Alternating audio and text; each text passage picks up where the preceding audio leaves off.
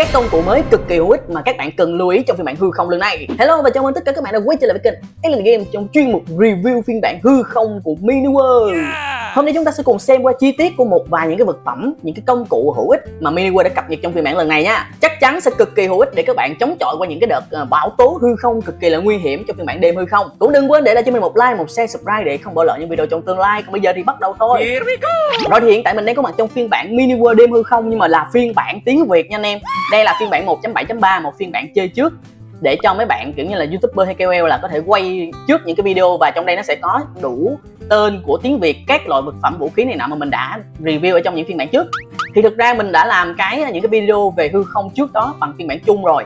Nhưng mà nó có một vấn đề là như vậy thì các bạn sẽ không có ờ, hình dung ra, kỹ lưỡng được những cái phần tiếng Việt, đúng không? Kể cả mình cũng vậy. Cho nên là mình phải quay lại từ đầu tất cả những video, cho nên là video nó có thể ra hơi chậm, các bạn thông cảm nha còn về việc mà ai đã làm trước rồi hay là ai làm sau thì mình nghĩ đó không quan trọng tại vì mỗi người mỗi trải nghiệm. Và mình cũng chắc chắn là à, những cái thông tin trong video mình nó sẽ đầy đủ và chi tiết hơn những cái video khác. Hy vọng là các bạn sẽ yêu thích và ủng hộ cho Ellen Game nhé còn bây giờ hôm nay chúng ta sẽ cùng review những cái vật phẩm công cụ hỗ trợ support mình ở trên thanh công cụ của mình, các bạn thấy. Đầu tiên thì chúng ta sẽ có một cái vật phẩm mang tên là bẫy kẹp. Cái bẫy kẹp này á, thì nói chung là nó sẽ có nhiều cái công dụng trong việc bảo vệ nhà nha. Và những cái công cụ ngày hôm nay của mình review cho các bạn thì đa số cũng là những cái công cụ bảo vệ nhà thôi. Chúng ta sẽ có cái bẫy kẹp được chế tạo rất dễ thôi, bằng một cái bạc kính. Thì cái bẫy kẹp này nó sẽ kích hoạt khi mà có sinh vật hay là người chơi gì đi qua thì nó sẽ giữ chân người chơi trong bao nhiêu thời gian đó. Thì bây giờ chúng ta sẽ cùng xem nha đây khi mà é lần game chạy vô bị kẹp một cái đó nó sẽ kích hoạt cái bẫy và mình sẽ dính một hiệu ứng bị kẹt rồi và bị khống chế cũng như là hiệu ứng chảy máu trong vòng 5 giây. Ok 5 giây nha mọi người. Nói chung là sát thương thì không đáng kể nhưng mà các bạn thử nghĩ đi trong phiên bản đêm không này với một lượng quái vật rất lớn rất mạnh và các bạn bị đứng trong 5 giây thì chuyện gì sẽ xảy ra thì anh em biết rồi ha. Hơi bị ghê đó. Rồi và cái bẫy kẹp này á nó hay một cái á, là các bạn có thể tái sử dụng nhá. Là khi mà cái bẫy kẹp này được kích hoạt xong rồi nè các bạn có thể đào lên và, từ từ, ôi từ từ nha mọi người. Đó, các bạn có thể đào lên và sử dụng lại nha mọi người. Đấy, chúng ta có thể sử dụng lại rất đơn giản thôi, có thể tái sử dụng được. Có nghĩa là các bạn xây một cái hệ thống bảo vệ nhà. Thì mỗi buổi sáng sau mỗi đợt tấn công của hư không thì các bạn chỉ cần đập những cái bẫy này ra và đặt lại để chúng ta tiếp tục tái sử dụng nó. Ok chưa? Khá là hay. Và thêm một cái mẹo nữa là khi mà các bạn đang bị kẹp các bạn có thể đào ngay lập tức để các bạn bỏ đi cái khả năng khống chế của cái bẫy và chúng ta sẽ không bị tác dụng của nó nữa. Nhưng mà với điều kiện là các bạn luôn luôn phải có cây cuốc ở trên người để chúng ta có thể hủy hủy nó trong vòng 5 giây, sớm hơn 5 giây, nhanh nhất có thể nha. Đây, bây giờ mình sẽ cho các bạn xem. Khi bị kẹp nè, đập, đó, hiệu ứng sẽ hủy ngay lập tức và chúng ta có thể di chuyển lại được bình thường ngay lập tức luôn. Kèm với đó là vẫn có thể tái sử dụng lại. Ok, thì đó là một cái mẹo để cho các bạn sinh tồn nhé có thể là phá hủy những cái bẫy của bạn bè mình đặt chẳng hạn, hoặc là chúng ta vô tình bị giảm vô. Rồi, tiếp theo chúng ta sẽ đến với một cái công cụ thứ hai là máy bắn thủ công. Với máy bắn thủ công này á, thì thường các bạn sẽ có thể xây để bảo vệ những thành trì giống như cái hình này. Hỏi các bạn chơi với bạn bè, các bạn có thể xây một cái thành để bảo vệ nhà. Sau đó trên cái thành các bạn đặt những cái máy bắn này. Nhưng mà cái máy bắn này nó sẽ có một vài điểm mà chúng ta cần lưu ý nha. Đầu tiên là khi các bạn sử dụng cái máy này thì chúng ta cần phải có, gọi là, vật ném nha mọi người. Chúng ta phải chuẩn bị trước vật ném cho nó chứ nó không thể nào tự động bắn được. Tại vì tên của nó là máy bắn thủ công mà mọi người. Nó không phải là máy bắn tự động nha. Okay. thì các bạn có thể chuẩn bị dừa nè. Các bạn có thể chuẩn bị bơm hay là những cái vũ khí vật ném mà các bạn có thể tìm được. Ví dụ ở đây mình sẽ thử thử ờ, cái tên lửa đi. Rồi leo lên. Thì lúc này các bạn thấy cái chỗ hiện thành không? Cái chỗ hiện thành này. Thì chúng ta sẽ cần bấm vô để bổ sung vật ném. Đấy lúc này thì các bạn sẽ thấy như thế nào ạ? À? chúng ta có thể điều khiển được cái máy bắn của mình bằng cách là ngước lên hoặc ngước xuống. Ok chưa? Và điểm yếu của cái này khá là nhiều cho nên là sử dụng các bạn cũng cần phải tập luyện. Thứ nhất á, là cái máy bắn của mình không thể thay đổi được vị trí bắn hướng bắn. Nó chỉ khi mình đặt hướng này thì nó chỉ bắn được hướng này thôi các bạn thấy không? Đó. Cái thứ hai là khi bắn á, các bạn phải nâng cao nó lên một xíu. Đó nâng cao lên nha bà nội trong trường hợp các bạn nâng thấp thì tự ăn luôn. Nói chung là cái này nó khó xài nha. Cái này kiểu như mà để trên tường thành để bảo vệ xong mà anh em nào không có kinh nghiệm á hút cái bùm một cái là thôi rồi luôn nguyên một team ra đảo luôn anh em à. Thật sự luôn ấy. Cho nên là khi mà sử dụng cái này anh em phải lưu ý rất rõ lại một lần nữa là phải ngước cao cái đầu nó lên. Từ từ nhá làm lại này bắn cao lên. Đó cỡ này 30 đến 45 độ là mình có thể gây sát thương và phải đặt nó ở trên tầm cao nhé. Tại vì khi mà các bạn đặt tầm thấp như vậy nè đó thì khả năng mà ngước cao lên như vậy thì khó trúng lắm anh em ạ. Chỉ bắn được những cái ở xa thôi hơi khó trúng đúng không? Các bạn thấy không? Nó hơi khó chịu hơi khó trúng một xíu. Cho nên anh em luôn phải lưu ý là uh, nếu mà muốn sử dụng cái này hiệu quả đó, thì các bạn phải làm giống như cái hình hồi nãy mình gửi là chúng ta phải đó thứ nhất là ngước cao là đó ngước cỡ này đó, các bạn phải tự canh và tự tập luyện nha. Nó mới mang lại cái sát thương mạnh mẽ được. Còn nếu như các bạn để thấp như vậy nè. Bùm. tự tập luôn. Hơi khó chịu đúng không? Nhưng mà thật sự nhá, nếu như các bạn để nó cao lên, tại vì thường cái tường thành của mình sẽ phải là cao đúng không? Rồi bạn đặt cái này. Rồi bạn ngồi lên. Lúc này nó là một cái gì đó rất là dữ dội nha mọi người. Đấy. Thì các bạn có thể ban quát được nguyên cái tường thành của mình và bắn nó sẽ dễ hơn ở tầm gần. Nè sư thì nói chung cái nỏ này nó như vậy nó hơi ờ, bị ờ, kém tự động một chút xíu. Nhưng mà nếu như các bạn nào ờ, có những cái ý tưởng nào hay về cái nỏ thủ công này các bạn comment bên dưới cho mình được biết nha. Xem xem là chúng ta có những cái cách nào để sử dụng và áp dụng nó tốt hơn hay không. Rồi thì tiếp theo đối với những cái nỏ này đi chẳng hạn nó sẽ tạo ra rất là nhiều những cái vùng những cái um, vật phẩm rơi ở trên đất. Thì cái việc mà nhặt những cái này thì trước giờ nó cũng hơi mất thời gian đúng không? Thì các bạn phải nhảy xuống cái hố này các bạn phải chạy vòng vòng vòng vòng vòng vòng để các bạn có thể lụm được hết tất cả những cái vật phẩm này. Nó hơi mất thời gian. Cho nên là trong phiên bản đường này chúng ta sẽ có thêm quả hư không và đạn, vòng, xoáy lớn, hư không vô địch. Chủ cái tên nó dài, má ơi luôn. Thì cái quả hư không này á, trong cái phần thông tin nhanh mình cũng đã cho các bạn xem sơ qua một cái video nhỏ rồi. Thì đơn giản, nó sẽ là bắn ra, nổ tung và hút những vật vào trung tâm của nó với một tốc độ rất chậm và một cái khoảng cách rất nhỏ. Nhưng khi mà các bạn kết hợp thêm cho nó, sợi tơ và 64 quả hư không nhỏ. Ui 64 quả hư không nhỏ. Cộng với sợi tơ để quấn lại thì chúng ta mới được một cái đạn xoáy lớn, cho nên cái đạn xoáy lớn này. À đến thời điểm này thì mình chưa chơi sinh tồn. Mình chưa biết là cái quả hư không nhỏ có dễ kiếm hay không. Nhưng mà với cái cái này thì cái này nó cũng hơi hiếm nó nhìn nó như quả chắc ác quỷ nha nhưng mà nếu như vậy thì nó hơi tốn đó mọi người ạ. Nếu mà nó khó kiếm thì sẽ hơi tốn và các bạn sử dụng cũng phải thật là cẩn thận và tiết kiệm thì bây giờ mình sẽ sử dụng quả hư không lớn này. Đơn giản nó sẽ nổ rộng hơn và hút mạnh hơn hút nhanh hơn. Kể cả người chơi cũng sẽ được hút đó. Các bạn thấy mình được bị bị hút vào trong không? Thì đây là một cái khá là hiệu quả khi mà các bạn đối đầu với những đợt hư không. Khi mà số lượng quái hư không lúc nào nó cũng sẽ đông như vậy. Một mình bạn phải chống lại hết tất cả. Thì cái quả hư không này là một thứ giúp cho chúng ta có thể gom quái lại một chỗ và sử dụng cái máy bắn thủ công. Ui được đấy nhờ có nghĩa là chúng ta có thể kết hợp hai người chơi hoặc là một người chơi cũng được khi mà các bạn đủ uh, khả năng ấy. Kiểu như các bạn chạy lên trên cao các bạn đứng trên đứng trên đây. Đúng không? Các bạn thấy một bầy hư không đang chạy tới. Các bạn ném cái này ra. Buồn tất cả quái hư không được gom lại một chỗ sau đó các bạn sử dụng cái này bắn thêm một cái đùng. Cũng được cũng là một cái kết hợp hay. Ok các bạn lưu ý cái, cái sự kết hợp đó nha. Rồi mình bỏ qua đi còn rất là nhiều những cái mà các bạn có thể tự kết hợp được theo cái ý tưởng và cái sáng tạo của riêng mỗi người ha. Rồi thì tiếp theo chúng ta sẽ đến với hai công cụ. Một cái là công cụ ờ, trưng bày giáp này ở cái phần thông tin nhanh mình đã, đã có nói với các bạn rồi ha. Thì nó có thể giúp cho các bạn kiểu như là treo những cái giáp trụ những cái ờ, vũ khí cũng có thể gắn lên trên đây luôn. Và kèm với đó chúng ta sẽ có thêm một vật phẩm nữa là một cái giá trang bị.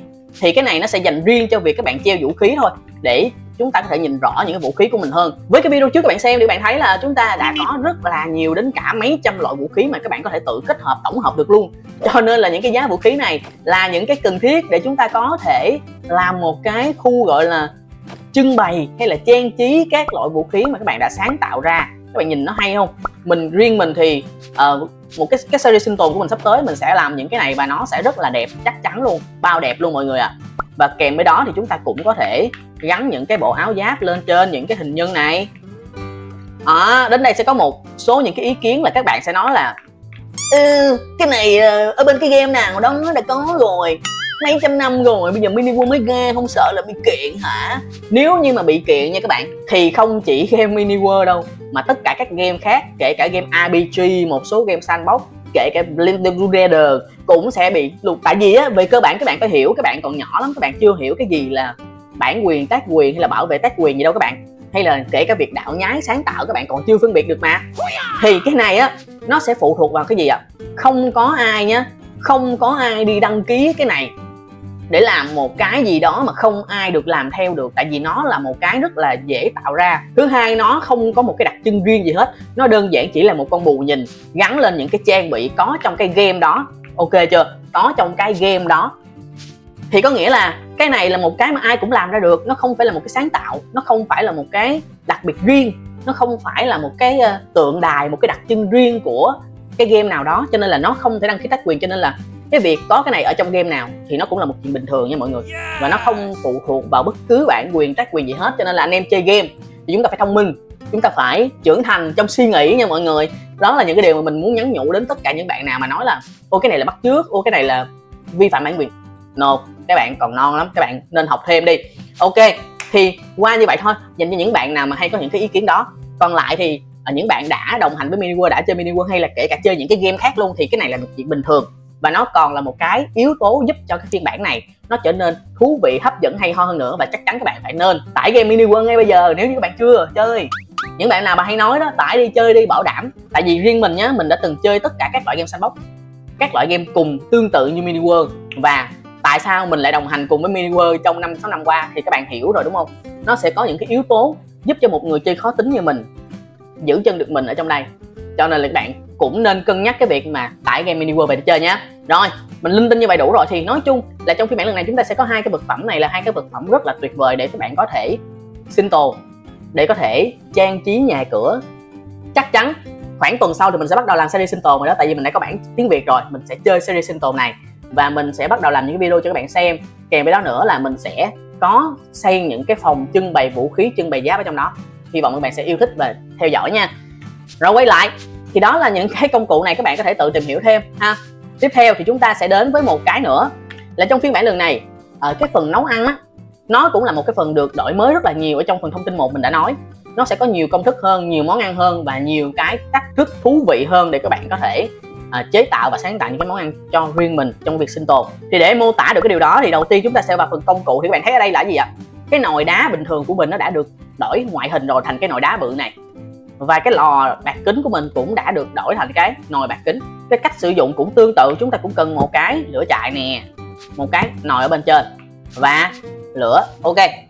Thì uh, cái cơ chế mới này nó sẽ cho chúng ta cái viền uh, tổng hợp và sáng tạo giống như là cái phần giáp vậy đó mọi người ạ. À. nói chung mini world cái đợt này cập nhật quá là hay luôn nhiều thứ hấp dẫn lắm. Đây ví dụ như các bạn bỏ một cái này vô thêm một cái này, thêm một cái này, thêm một cái này, thì nó sẽ tạo ra một món ăn gì đó mà chúng ta chưa biết. Đúng không? Chúng ta chưa biết. Thì khi nó tạo xong thì chúng ta mới biết là chúng ta được một cái món gì đó. À đĩa trái cây, hào hoa. Ui ơi hào hoa phong nhã anh em ạ. À. và chúng ta có thể sáng tạo nhiều loại thức ăn để chế tạo nên những loại thức ăn mới. Ôi, khoan, cái tiếng game hơi lớn. Thì các bạn thấy đó đấy chúng ta đã chế tạo được một món mang tên là thực chiên lớn. Ui, nói chung là hay vậy. những cái món ăn mới món ăn mới món ăn mới mới mới. Mới mới mới mới, mới, mới. Ok chưa? Và chưa dừng lại ở đó. Khi mà các bạn nói là anh ơi cái này khó quá. Em chỉ thích pvp thôi. Nấu ăn nấu nướng gì phức tạp em không thích đâu. Thì các bạn cứ chế tạo cho mình cái nồi bạc kính. Thì nồi bạc kính này chúng ta sẽ có sẵn công thức ở trong đó. Ok các bạn chỉ cần tổng hợp những loại công thức. Nãy ở trong đây nó hiện công thức rất là rõ ràng nha. Các bạn có thể chế tạo những loại thức ăn mới cũng được. Ui nhưng mà các bạn coi nè đây là những thức ăn cũ đúng không? Ui rất nhiều loại nha mọi người. Hai à có những cái giống nhau và nó được kết hợp khác nhau hình dạng khác nhau. Nó hơi giống thôi nhưng mà nó có những cái ui nice. không thể tin được luôn anh em à nói chung là cái này ảo thế nha. Cái này ảo nha. Cái này nhiều lắm mọi người ơi. Ui nói chung là phần nấu ăn cũng là một cái hay đó. Ok thì nói chung về những cái nấu ăn này mình cũng không có tập trung về nấu ăn nhiều quá. Mình chỉ tập trung về bbb thôi. Và sinh tồn thôi. Thì các bạn cũng uh, tự tham khảo thêm cái này nha. Rất là nhiều những cái công thức rồi còn lại thì chúng ta sẽ có một số thay đổi nhỏ nữa là những cái này. Đối với những bạn nào làm những cái map quá rộng những cái map sinh tồn bự thì các bạn có thể đó, sử dụng thêm những cái bảng này để chỉ đường cho người chơi đến những cái khu mà mình mong muốn ok? Mình có thể ghi chữ được trên đó luôn nhá ví dụ như là nhà bếp chẳng hạn. Ôi được anh em à được được được được. Đấy thì khi mà các bạn chơi sinh tồn cùng với bạn bè hoặc là team á, thì các bạn có thể sử dụng những cái bảng này để chỉ đường cho họ đi đến được đúng những cái hướng mà họ mong muốn nha. Hay đó. Rồi còn lại thì chúng ta sẽ là những cái cơ bản thôi. Ví dụ như khoáng sản cũng được thay đổi mới nè. Thì cái khoáng sản này mình thấy nó không có nổi bật ngoài cái việc thay đổi texture thôi cho nên mình cũng chưa làm video á. Nhưng mà các bạn thấy là khoáng sản chúng ta sẽ được uh, thay đổi mới một chút xíu và nó sẽ được nổi bật hơn. Ha nó sẽ được nổi bật hơn rất là nhiều. Và Ờ, khi mà các bạn vào trong những cái hang đá, những cái hang động thì nó sẽ lấp lánh sáng lên, giúp cho mình có thể dễ dàng nhìn thấy và khai thác trong quá trình sinh tồn hơn. Thì nói chung là trong cái đợt sinh tồn này thì chúng ta cũng sẽ có nhiều cái cảm xúc mới hơn khi mà chúng ta sinh tồn, bởi vì nó đẩy đổi mới quá nhiều đi. Đây, có cái này là không đổi này cái này chưa làm 3D nè anh em ơi, có cái này không biết tại sao, nó bị ghẻ lạnh rồi. Chúng ta, ui những cái, ui những cái mỏ chịu như đá run nó cũng đẹp vãi nồi anh em à nhưng mà nó bị vuông nhá nó không có giác cạnh nhá cái này thì chưa hiểu. Ui cái này là một cái loại đá rất là lâu rồi đó mọi người ạ à, mà nó còn được chạm khắc như vậy nhá. Thì các bạn hiểu được cái mức độ đầu tư lần này của bản hư không là như thế nào rồi. Còn chần chờ gì nữa mà không tải ngay game mini world về để chơi hả? Nói chung là rất là hay ho hấp dẫn. Nhiều thứ anh em ạ. À. ngoài ra nhá nếu như bạn sinh tồn thì nó còn thêm một cái này nữa. Cái lát đá này mình rất là thích tại vì trước đó trong sinh tồn mấy cái series của mình á, các bạn thấy là mình rất là phiền ờ, thấy phiền khi mà mình phải đào ở dưới. Xong rồi mình phải lót một cái viên đá nào đó để tạo thành cái đường đi. Anh em nhớ những cái những cái khoảnh khắc sinh tồn đó của mình không? Đó, mình phải làm như vậy thì mình mới giống cái đường đi. Nhưng mà bây giờ chúng ta có cái này rồi. Đó. Thì nó sẽ ok hơn khi mà các bạn sinh tồn các bạn sẽ làm những cái đường đi nó đẹp hơn ha. Riêng mình thấy nó đẹp đó, những cái đường mòn để chúng ta dẫn đến những cái vị trí trong nhà mình và cuối cùng thì chúng ta cũng có thêm một cái loại thương nhân mới thương nhân event á. Trước đây các bạn nhớ là chúng ta hay có một ông thương nhân vào những buổi đêm mà xuất hiện ra để trao đổi đồ. Thì ở trong phiên bản lần này chúng ta cũng có một ông thương nhân ở đây hình. Mình không kiếm thấy cái chứng sinh vật của ông thương nhân đó. Có nghĩa là chúng ta phải uh, sinh tồn và tìm thấy ông đó ở trong những cái khu vực nhất định. Uh, kiểu như là ông sẽ đi ngao du khắp nơi giống như là mấy ông thương nhân sa mạc các mọi người ạ. À. thương nhân sa mạc thì sẽ tập trung một chỗ đúng không? Nhưng mà những bạn thương nhân phiêu lưu này á thì nó sẽ ở một nơi ngẫu nhiên nào đó mà chúng ta có thể vô tình tìm thấy và trao đổi được những cái vật phẩm cần thiết. Và nó cũng là một cái challenge rất là hay nếu như mà các bạn kiếm những ông thương nhân này. Mình nghĩ là ổng cũng sẽ là một trong những cái mục tiêu mà chúng ta sẽ kiếm tiền trong cái series sinh tồn hư không của tôi, ok. Và rồi thì đó là tất cả những những điều các bạn cần lưu ý và những cái công cụ hỗ trợ hữu ích trong phiên bản đêm hư không. Các bạn thấy như thế nào? Cái nào hữu ích hơn cái nào thì các bạn comment bên dưới để cho mọi người cùng biết nha. Nếu như các bạn có bất cứ những thắc mắc gì hãy comment bên dưới, kèm với đó nữa thì nếu như các bạn muốn xem những nội dung gì tiếp theo mới nhất, nhanh nhất trên hư không, phiên bản hư không thì các bạn cũng comment thì mình sẽ cố gắng thực hiện nha. Cảm ơn các bạn đã theo dõi video và hẹn các bạn những video lần sau. Bye!